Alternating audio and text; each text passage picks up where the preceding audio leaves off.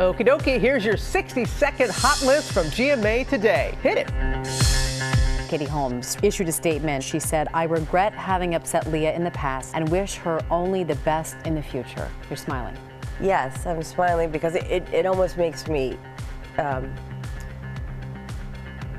want to cry. At the time, I was fighting with her, I guess, for the lack of a better word, within the church. And now I know that we're able to have this kind of grace towards each other because we're back to being human. Carrie Underwood told me about her idol. She's tiny, but she's larger than life. She's Dolly all the time, everywhere. That's just who she is. I imagine her, I'm like, does she like sit around her house in sweatpants? And I've decided no, she doesn't. She's Dolly all the time.